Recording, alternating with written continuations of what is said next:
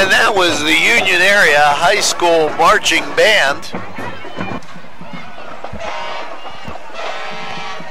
Let's pick up the Newcastle Marching Band.